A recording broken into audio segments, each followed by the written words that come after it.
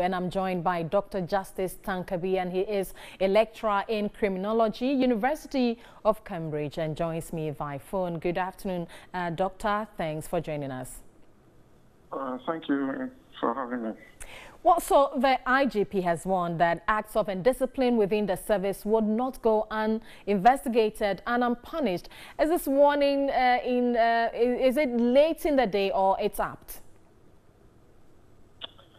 Um, I, you will hear from his speech that he emphasized the need for officers to work in ways that will build uh, public confidence in the police. And once you talk about public confidence, uh, you cannot uh, run away from the issue of uh, accountable and disciplined uh, police service. So his encouragement to officers to act in ways that will promote uh, professionalism or act in ways that uh, would encourage the public to have that confidence in the police is a good uh, call.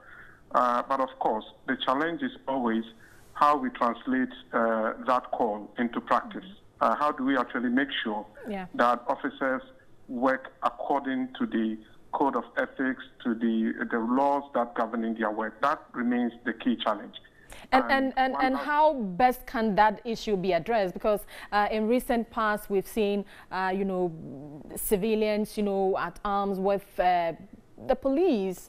And some of these issues are quite worrying. So how best can we, we deal with such issues? I think if we want the officers to behave in a particular way, such as what he's saying, that um, relate to the public in ways that build confidence, avoid misconduct, then the training of officers must reflect those issues. We have to train officers in ways that places the issue of public confidence, the issue of police legitimacy at the heart of the content of their training.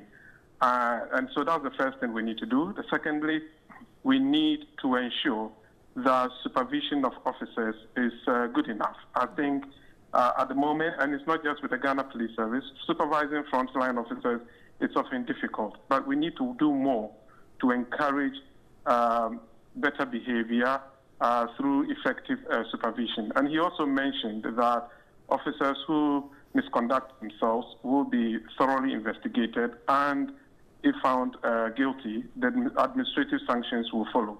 And I think uh, the police need to do more of that. And when they do sanction officers, they should let us know that these exactly. are the sanctions that have been uh, applied to officers who misconduct themselves. And I think doing all that will help to encourage uh, uh, the confidence. And we also know, of course, that the police recently mentioned that they're trying to introduce uh, body-worn cameras. Uh, okay. And this might help to deal with some of the, of course, obvious issues that we find on the streets. And uh, thanks so much uh, for, for talking to us, Dr. Justice uh, Tankebe, on that particular development.